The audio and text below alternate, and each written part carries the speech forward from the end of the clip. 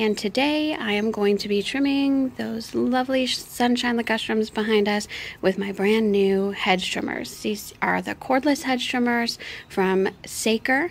For these, this is a cordless hedge trimmer right here, and it's so lightweight. I cannot wait um, to try it out and to see how this goes because usually after trimming a long hedge like my sunshine ligustrum hedge here, usually um, my hand is hurting really bad afterwards because my hedge trimmers are pretty big and bulky and they're corded. It's corded and it just, um, it, yeah, it's just difficult because I'm small, I'm petite. And so I really love already that these uh, are really lightweight and um, cordless. So I've charged it up with the charger that came with it. So uh, what comes in this box is obviously the hedge trimmers.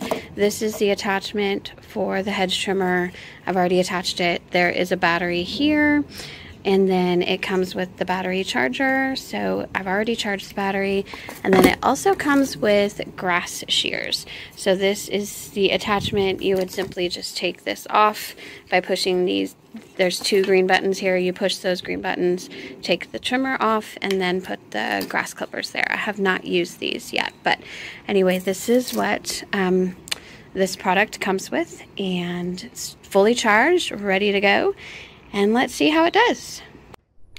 Okay, so let me first apologize to you all. I did not get a before picture of what the sunshine ligustrum looked like uh, prior to trimming it, but it was very woolly and I had a lot to uh, kind of trim off to get them all even and shaped out.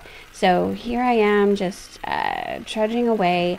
This cordless hedge trimmer was so light and so easy to kind of get through uh, these branches and even the vines that uh, were entangling it a little bit. Um, it was so much easier than using my other hedge trimmers that were much heavier and um, with a cord. I didn't have to worry about the cord getting tangled anywhere or my hands getting tired because I was holding um, such a heavy trimmer.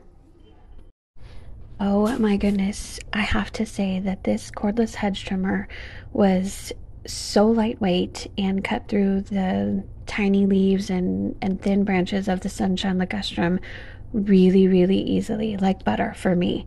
And be- I'm very petite, um, so I just really loved the fact that it was lightweight. My arm didn't get tired. It made this job of uh, trimming them super quick and super easy.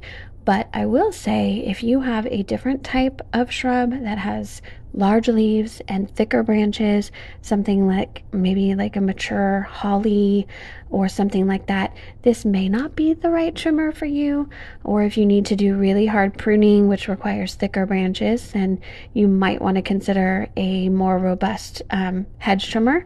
However, this smaller version, um, it does an amazing job for small leaves and thin branches like the sunshine ligustrum, and I think it just it did a great job.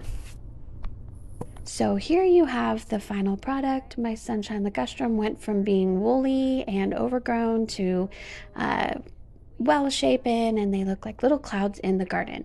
So please go to the link in my description and check out the Saker cordless hedge trimmer. Thanks for watching everybody. Bye bye.